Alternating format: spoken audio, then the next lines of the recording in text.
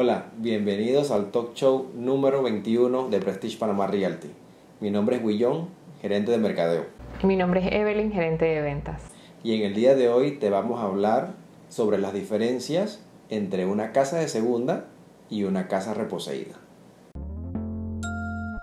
Queremos tocar este tema porque cuando nos llaman las personas, a veces nos dicen, yo quiero comprar una casa reposeída, pero en realidad es una casa de segunda porque el banco no le ha quitado la propiedad a nadie.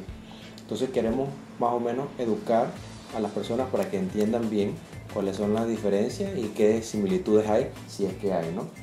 Evelyn, entonces coméntanos una de esas diferencias entre una casa de segunda y una casa reposeída.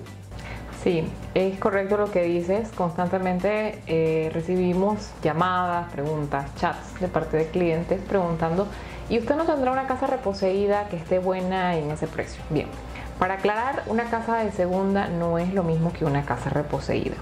Entendamos que una casa de segunda tiene un propietario, que puede ser una persona natural o jurídica, pero tiene un propietario. La casa reposeída de igual manera tiene un propietario, pero muy probablemente es un banco. ¿Por qué? Porque esta propiedad ya pasó por un proceso de cobro. Eso quiere decir que eh, probablemente sí tuvo un dueño anterior que no cumplió con el compromiso de pago y el banco inició un proceso de cobro ejecutivo y nuevamente la propiedad fue traspasada de vuelta al banco. Entonces, las similitudes es que sí, ambas ya han tenido un primer dueño. La casa es de segundo uso, pero cambia totalmente porque cuando compras una casa de segunda te da la oportunidad de negociar directamente con el dueño. Mientras que si compras una propiedad reposeída, muchas veces esto va a un remate judicial o eh, te toca hacer una oferta al banco por escrito para que entonces el banco considere a ver si tu oferta alcanza a cubrir el saldo en libros de esa propiedad. Básicamente esas son las principales similitudes o diferencias. Hay una, una pregunta que nos hacen cuando, cuando alguien quiere comprar una casa reposeída que la tiene el banco, si esa casa está en buen estado ¿O es preferible entonces buscar una casa de segundo uso pero que el dueño aún la tenga? Bueno, me gustaría empezar esta explicación diciendo que recuerden que el negocio principal del banco es prestar dinero, no acumular bienes. Cuando el banco acumula bienes, obviamente tiene que tener un presupuesto asignado para todo lo que es el mantenimiento de todas estas propiedades reposeídas. Hago la salvedad, hay entidades bancarias que mantienen sus propiedades como una tacita de oro, pero hay otras en que por temas de administración, que no están aquí, que no tienen quien les haga la administración de las propiedades, entonces las propiedades se van deteriorando por la lluvia, por la humedad, por diferentes factores, porque el patio no lo cortan cada 22 días, etc. Y obviamente esos factores hacen que se desmejore la propiedad. Básicamente en ese aspecto podríamos decir que ahí hay otra diferencia. En realidad, si usted va a comprar una propiedad reposeída, lo que tendría que hacer es asegurarse de que la misma guarde las condiciones que usted necesita para hacer de esta casa habitable. Ahí me gustaría también comentar que a veces el banco cuando le toma la propiedad a alguien porque no hizo los pagos, a veces el banco no desaloja a las personas, sino que las deja viviendo para que la casa no se desmejore. Entonces a veces los bancos te pueden decir, bueno, te voy a dar excelente ganga aquí está la casa, te voy a dar un precio especial, pero tú te encargas de sacar las personas de ahí. Así que también eso puede suceder cuando vayas a comprar una casa que es reposeída. Y para tocar el último punto, que también es muy importante, ¿hay alguna diferencia en el precio, en el interés que voy a pagarle al banco si compro una de segundo uso o una que está reposeída?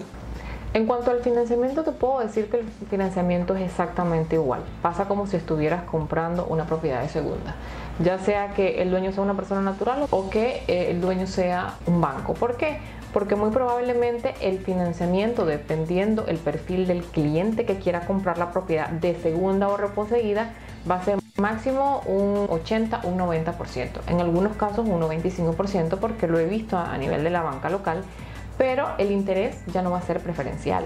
Eso es algo que es bien importante y eh, importante también resaltarle a los clientes que estas propiedades de segunda o reposeídas tienen que fijarse bien en que si tienen o no tienen una exoneración de impuesto inmueble y la edad del inmueble, porque dependiendo de la edad de ese inmueble usted va a poder saber cuántos años le quedan o no de ese beneficio si tramitaron o no ese beneficio en su momento. Entonces son puntitos eh, importantes a considerar al momento de tomar la decisión de comprar una propiedad de segunda o reposeída. Recuerden que el financiamiento es básicamente igual, pero esos datitos adicionales deben considerarlos antes de finalmente tomar la decisión. Bueno, para concluir el segmento, nos gustaría mencionarles que aquí en Prestige Panamá Realty tenemos excelentes propiedades que están prácticamente en remate y tenemos algunos clientes pues que desean vender y están bien motivados, así que tenemos buenos precios, así que no es necesario de repente buscar lo más bajito posible, pero aquí en Prestige tenemos buenas opciones. En nuestro website tenemos un link que dice remates. Por favor denle clic en esa área y van a encontrar excelentes propiedades con excelentes precios. Cuéntanos, Willon, ¿qué hay de nuevo en David? Bueno, en David, nuevo, que prácticamente como que lo descubrí, es el supermercado Dorado Center, porque ellos construyeron uno en el área de San Mateo. Tuve la oportunidad de entrar porque estaba buscando un lugar rápido para comprar una, medicina y estaba en el área y no había entrado nunca y cuando entro pues me, me quedé sorprendido eh, tienen, eh, está amplio, está limpio, las secciones de carne tienen de todo. Y cuando estuve buscando las medicinas pues ahí estaba. Y de repente pienso que algunas personas en David puede ser que sea algo como nuevo porque tampoco han visitado, no conocen el lugar, así que pienso que eso sería algo como no es tan nuevo que acaba de abrir, pero creo que es muy nuevo para muchas personas que no han visitado el lugar. Y está ubicado en San Mateo, cerca de la calle Octava Final San Mateo, o eso también es conocido como Urbanización La Sonde. Así que ya saben, dense una vuelta por allá. Entonces, tienen farmacia también. Así es. Dense una vuelta por allá y conozcan a Dorado Center. Y en el cupón de la semana, coméntanos, Evelyn, ¿qué hay de nuevo? Bueno, como ya saben, a todos aquellos padres con hijos en edad escolar, se acerca el cierre del último trimestre del año. Eh, tenemos el 10% de, de, descuento en el Centro de Matemáticas Insucom con el profesor Virgilio Buruchaga.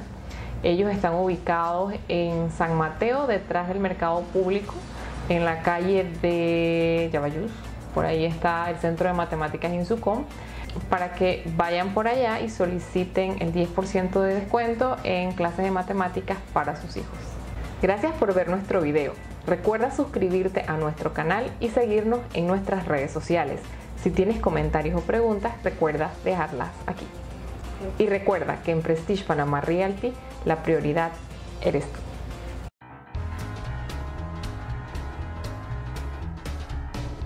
Gracias por ver nuestro video.